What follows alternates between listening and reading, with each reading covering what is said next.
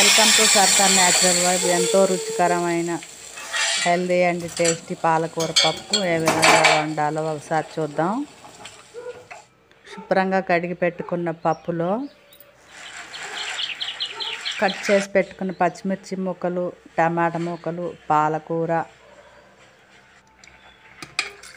ఇవన్నీ పప్పులో పెట్టుకొని చెంచాడు పసుపు వేసుకొని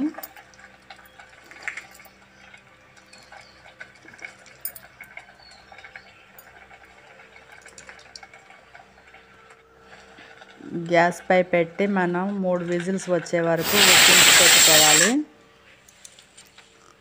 తర్వాత రుచికి తగినంత ఉప్పు రుచికి తగినంత కారం వేసుకొని ఒక నిమ్మ చెక్క నిమ్మకాయ రసం పిండుకోవాలి పులుపు కోసం. తర్వాత తాలింపు వేసుకోవాలి. వేడెక్కిన ఆయిల్లో వెండి మిరపకాయలు తాలింపు గింజలు ఉల్లిపాయ ముక్కలు చిట్టగొట్టిన వెల్లిపాయ రెబ్బలు కరివేపాకు